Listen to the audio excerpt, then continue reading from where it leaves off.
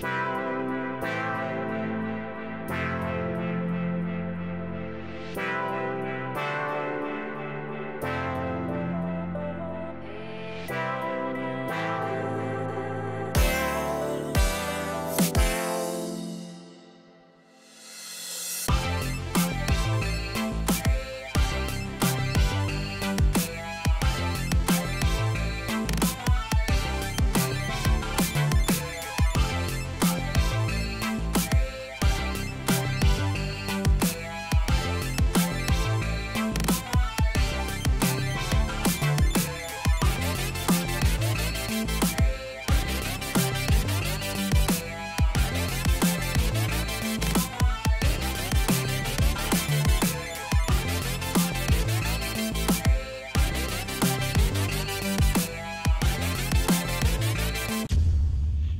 Well, good morning, Lake Michigan Christian Center. I'm so glad that you could join us for this week's message. I've got a great message about increasing in our faith. But before we get to that, can you do me a favor? Can you like this? Uh, this YouTube video so we can extend our reach and also send a link of this video to as many people as you know. Let's get as many people connected to our church and to hear the gospel message.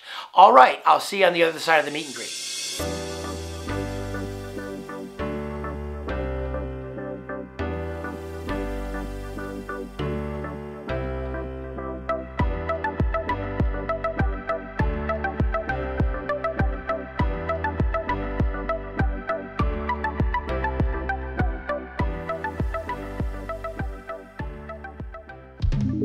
Good morning, Lake Michigan Christian Center. I'm so glad you could join us this week for our online service. If you have your Bibles, I want you to turn to Mark's Gospel, the 21st verse. We're going to talk about the continuing account in the Gospel of Mark, where Mark is trying to show that Jesus has authority over all things.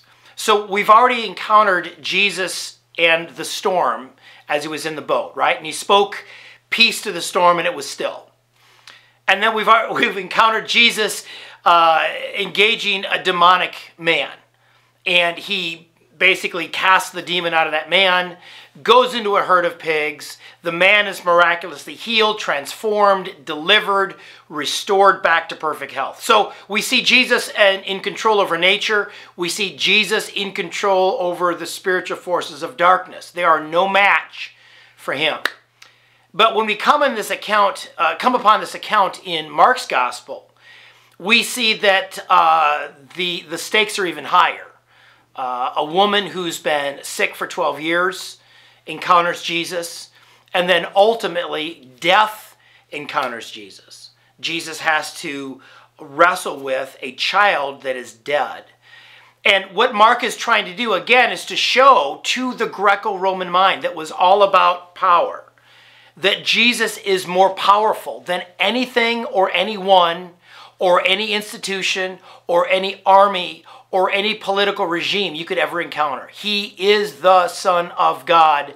No, no person, nothing on this earth is a match for Jesus. So let's look at this section of Scripture and we're going to talk about it. Now, as we talk about it, this is helpful to me anytime I read the Scriptures, um, anytime I read history, is I try to put myself in this position and go, what would you have done if you would have faced this situation or this circumstance because it helps challenge me, it helps challenge you uh, in particular as to what how much faith do you have? How much faith do you have that Jesus can really bring about a breakthrough in an absolutely impossible situation? What would you have done? What would I have done? What would have what what, what would have uh, been your response? In this situation. So let's let's take a look at the scripture here. This is in Mark's gospel, the 5th chapter. We're going to read verse 21 to 24. When Jesus again had crossed over by boat to the other side of the lake, a large crowd gathered around him while he was by the lake. Then one of the synagogue rulers named Jairus came there. Seeing Jesus, he fell at his feet and pleaded earnestly with him, My little daughter is dying. Please come and put your hands on her so she will be healed and live. Can we pray? Father God, I thank you for your word. Your word challenges us in this section of Scripture. who do you think Jesus is? And how much faith do you really have in him? And how much do you really believe that he's able to do uh, the impossible? So, God, I pray, give us eyes to see, give us ears to hear what your Spirit is saying to us in your scripture. In Jesus' name, amen. So, we see Jesus coming back to the other side of the lake.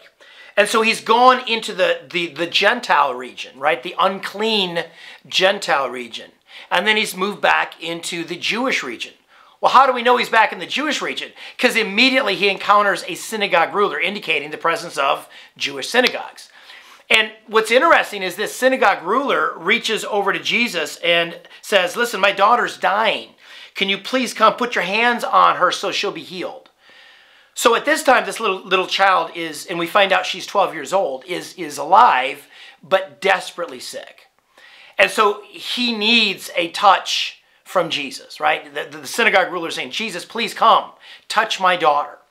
And it's interesting that this indicates that there were Jewish leaders who were believers in Jesus or followers of Jesus.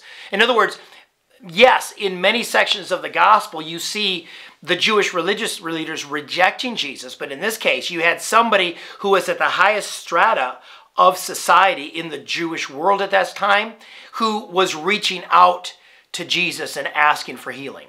So, so as Jesus is contemplating this, immediately a crowd arises and surrounds him. And so now he's delayed. He can't go to Jairus' daughter. And so the plot thickens and we encounter a second scenario. Okay? So the scripture says this in Mark 5 24 to 28. A large crowd followed and pressed around him. And a woman was there who had been subject to bleeding for 12 years. She had suffered a great deal under the care of many doctors and had spent all she had. And instead of getting better, she grew worse. And when she had heard about Jesus, she came up behind him in the crowd and touched his cloak because she thought, if I just touch his clothes, I will be healed. So you go from one desperate situation to another, right? So now Jesus is, is encountered by this crowd separated from Jairus. So now his attention goes in a different direction. And this woman who has had an issue of blood for 12 years, and theologians will tell us most likely this was some sort of menstrual flow that never stopped and went on for 12 years. But it gets worse. She went to doctors, but instead of getting better, she got worse. And she spent everything she had. So it's a hopeless situation. And so she's coming up uh, upon Jesus and she is thinking, if I just touch his clothes, other translations would say, if I just touch the hem of his garment, I'm going to be healed. So she's desperate, but she's like, hey, what do I have to lose? I'm going to, in faith, even if I can't talk to Jesus and tell him my need, I'm going to at least touch him. And so this woman is, well, in the Jewish mind, unclean, right? is that she's, if, if you know anything about the Levitical law, and it talks about a woman who uh, has a period of uncleanness after a menstrual cycle, okay? Well, this went on for 12 years. So she is unclean in the sense that ceremonially she cannot approach the Lord. She is at a distance from God, um, at least physically. She's at a distance because of the Jewish system. So, so this woman has multiple issues she is, she spent all that she had, so she has no money. She's still desperately, desperately sick. And she is far from God, or at least in the religious system of the day. She is unclean. So she's got all kinds of issues. So as this, as this situation continues, the scripture says in Mark 5.29, immediately her bleeding stopped, and she felt in her body that she was freed from her suffering. At once Jesus realized that power had gone out from him. He turned around in the crowd and asked, Who touched my clothes? You see the people crowding against you, his disciple answered, and yet you asked, Who touched me? And so this woman is healed. This woman is restored. And yet the disciples are skeptical, right? Because Jesus says, Listen, well, Jesus realizes power went out from him. And he says, Who touched me? Now, Jesus knew who touched her. What he was trying to do is to evoke faith in the woman, but also he was trying to evoke faith in the disciples. Okay? The woman passed the test. The, the disciples, once again, they failed the test. They're like, well, Jesus, How do you know, right? In other words, they responded with a rational answer. There's no way to know. There's all these people here. Who knows, right? So the woman had faith. The disciples were, well, they were a bit clueless. And the scripture says, Jesus kept looking around to see who had done it. Then the woman, knowing what had happened to her, came and fell at his feet, trembling with fear, and told him the whole truth. He said to her, Daughter, your faith has healed you. Go in peace, be freed from your suffering. And so you have the disciples that were kind of clueless and rational and missed the faith that they should have had that, hey, this Jesus who you had already seen calm the storm and cast out a devil, guess what? He's at it again. His power is being manifest again. Believe. Well, they don't believe, they miss it. But the scripture tells us that the woman was overwhelmed with fear. The idea is awe. She had awe. She had reverence for Jesus. In other words, it was worshipful. It was reverential. She recognized that Jesus was everything that everyone was saying he was. And, and in fact, Jesus at the end says, go in peace. And the word there is, is in the Greek is comparable to the Hebrew shalom, which is wholeness, which is soundness, which is human flourishing. And so we see Jesus does a multitude of things for this woman. Well, obviously heals her, but also restores her to cleanliness, right? Ritually. Restores her to purity so she can approach the Lord. And not only that, brings entire wholeness, brings shalom to her. So what Jesus was saying, go in peace, it wasn't just, hey, see you later. But it was, listen, go in shalom, go in complete restoration and wholeness. Again, we see Jesus doing an incredible miracle. However, Jairus is standing there in the midst of all this, right? The crowd is approaching him. And, and, and the, crowd, the crowd is surrounding him. The crowd is separating him from Jesus, right? So now his hopes that Jesus would go and heal his daughter are, are fading, right? And now the scripture tells us in verse 35 that the situation gets even more dire for Jairus. Because in verse 35 it says, While Jesus was still speaking, some men came from the house of Jairus, the synagogue ruler. Your daughter is dead, they said. Why bother the teacher anymore? Okay, so if that was ever a deflating situation, there it is, right? It's like, pff, stop believing in Jesus, stop reaching out to Jesus, right? Your situation has gone from being um, dire to completely hopeless. Your daughter is dead. Don't even continue. Stop pursuing Jesus about it. However, like the woman with the issue of blood, Jairus has incredible faith. The scripture says, ignoring what they said, Jesus told the synagogue ruler, Don't be afraid, just believe. So Jesus is giving the synagogue ruler an opportunity to keep believing, to stand in faith, to expect a miracle, right? In other words, theologians will tell us that one uh, one potential reason why the healing of Jairus' daughter didn't happen right away, but the crowd interrupted and the woman with the issue of blood approached Jesus was to build Jairus' faith. So the question for me, the question of you for you is what would you have done, right? You ask Jesus for help, you ask him for a miracle. Now there's a delay because someone else you know imposes on Jesus and asks for help. So much so that the delay causes your loved one to die. Would you have kept believing? Would I have kept believing for a miracle from Jesus? And Jairus keeps believing. So, so this is very convicting what's going on for me and for you, to be candid, right? So it says, don't be, Jesus says, don't be afraid, just believe. He did not let anyone follow him except Peter, James, and John, the brother of James. And when he had come to the home of the synagogue ruler, Jesus saw a commotion with people crying and wailing, loudly. He went into them, went into them and said, Why all this commotion and wailing? The child is not dead, but asleep. But they all laughed at him. And he put them all out, took the child's father and mother and the disciples who were with him, and went in where the child was. He took her by the hand and said, Talitha, Talitha cum, which means, little girl, I say to you, get up. Immediately the girl stood up and walked around. She was 12 years old. And they were completely astonished. He gave strict orders not to let anyone know about this and told them to get give her something to eat. so we see Jesus arriving, Jesus telling Jairus, Don't be afraid, believe. And there's a commotion. There's a crowd there. There's mourning going on. Again, what you need to understand is in the Jewish world of that time, uh, when someone died, you had to stop what you're doing and mourn. And even if you were poor, um, you had to hire at least two mourners and, uh, and, and in the form of two flute players and one wailing woman. In other words, that was the bare minimum.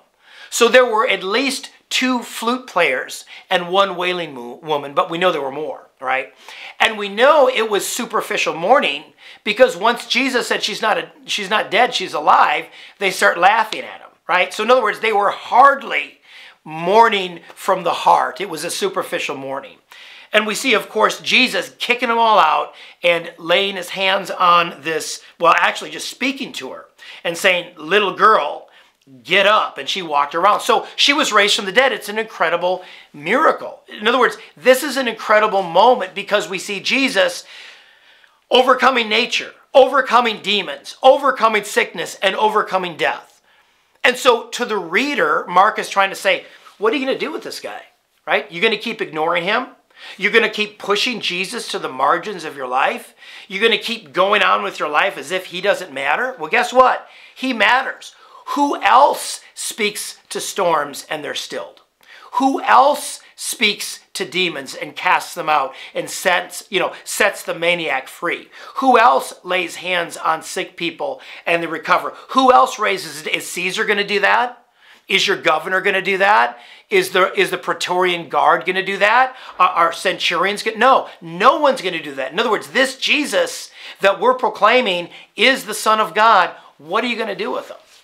And that leaves us with some questions for me and for you. Okay, this message is as much for me as it is for you, right? And, and, and there's a few questions I want to leave you with today. One is, what is your current level of faith? What would you have done in the situation if you were Jairus?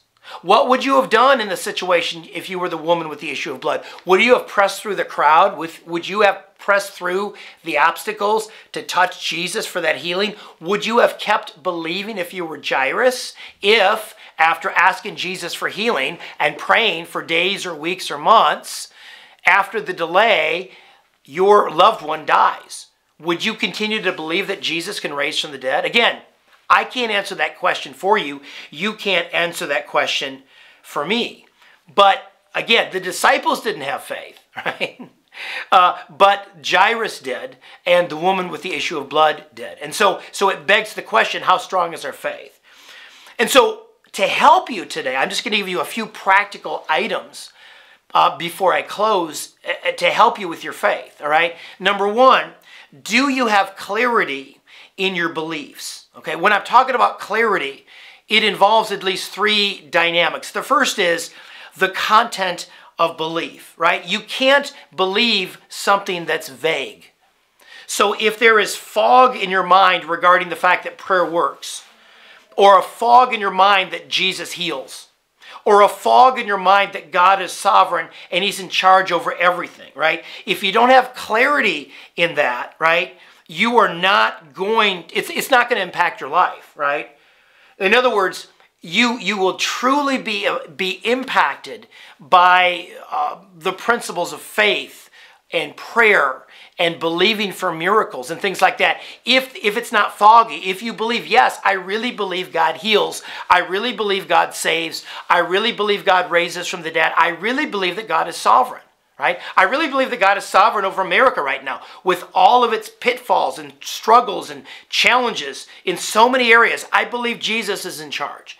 You, you've got to be clear on that. In other words, to, to have your faith strengthened, right? Your content. The second thing is how strong is your belief? Okay, let's say you believe that God heals. Are you 51 49 on that? Are you 75 25 on that? In other words, how strong is it? Is, is, is it kind of, I just barely believe or I strongly believe that God heals, okay? I believe that God heals. Now, if there's a situation in my future that I have to believe God, I'm trusting that I will believe that God heals because, well, God has healed me multiple times in my life. So that has developed confidence in my life. I've seen people healed of sickness. And so that develops confidence in my life. So, in the same way with you, how strong is your belief, right? And, and third of all, how central is your belief, right? Okay, tulips or roses? Doesn't really matter for me, right? Cubs or Cardinals? Mm, I don't know. Michigan, Ohio State? Now I'm going to have to say, hey, I'm pretty strong on Michigan is better than Ohio State in football, right? And that's all in fun. But again, what about the centrality of, of the fact that if, you know, the, the existence of God, the existence of Jesus, Jesus being the Son of God, Jesus being raised from the dead, right? My conversion, your conversion, right? Those things should be central to our lives, right? If we lose that, I know if I lost my relationship with Jesus, it would not be good for me. It's a central core belief. Yes, I love Michigan football. Yes, I love summer weather. Yes, I love any good beach. Yes, I think the guitar solos are the best portion of a song, maybe with the exception of a drum solo, right? But again, that's not central to who I am. I hope that what is central to who I am is Jesus, His Lordship, His rule, His reign. Again, we're talking about how strong our faith is. We're talking about how we get clarity on our beliefs. How central is your walk with God? Is it just a hobby? Is it a bolt on appendage? Is it something you can take or leave? Or is it everything to you? Again, I can't answer that question for you. You need to answer that question, okay? So, as we're talking about our faith and how strong it is, uh, how can we increase our faith? How can we make our faith stronger. Remember what the disciples asked Jesus in the Gospels? Lord Jesus, increase our faith, right? Couple of ways we can do that. Number one, be brutally honest and intentional in assessing and strengthening your beliefs, right? In other words, how much of the Bible do you actually believe? How strongly do you actually believe that God answers prayer? How strongly do you believe that God still heals, right? And, and begin to Again, if you recognize that your belief is not strong, pray and ask God to increase your faith. Maybe find a book or books about people that God used to do great miracles. Let that increase your faith. Again, it begins with assessing where you at, right? But second of all, take yearly risks to increase your faith, right? Is that increasing your faith is spelled R I S K. Take risks. You know, pray for the sick. Share the gospel with somebody. Believe God to bless you financially, or believe God to bless you financially so you can bless someone else financially. In other words, get out of your comfort zone and believe God for something more than where you currently are, right? Here's a great statement from um, J.P. Moreland in his book Kingdom Triangle. How much of my life in ministry last year required the existence of the Christian God to explain it? How much would have happened if God didn't exist? Or for your life, how much of your life, right, in ministry required the existence of God, right? Uh, that's a great question. How much of what I'm doing or you're doing is in our own strength and how much of it is in His strength, okay? So as we conclude this morning, the message is how strong is your faith, right? What does faith look like? How do we increase our faith? What would you have done if you were Jairus's, you know, if, if you were uh, Jairus? What would you have done if you were the woman in the issue of blood? And how can you increase your faith? And so I want to pray for all of us. I want to pray for me. I want to pray for all of us that lo- the Lord would increase our faith so that we can be people that trust God and believe God no matter what. Because guess what? Other people in your lives, your family, your friends, need that encouraging faith because maybe they're going through something right now that they need you to encourage them. And to be strong in our faith, to be strong in the Lord and the power of His might will be critical for their lives. So, can we pray? Father God, I thank you for your word this morning. And God, I ask that for every single one of us, you would increase our faith, Father God. Help us to be a people that take risks for you, to step out in faith and believe God for healing, for salvation, for breakthroughs, Father, for change, for transformation, God. Help us to be a people that step out in faith to see you move. And Father God, just like Jairus, just like the woman with the issue of blood, let us be a people that are firmly convinced in our mind and heart that Jesus is the Son of God, that He is able to do exceeding abundantly above all that we could ever ask and think. I ask and I pray for that in Jesus' name. Amen. Well, church, it was great to be with you. Be encouraged, be strong in the Lord and in the power of His might, and I'll see you next week. Take care.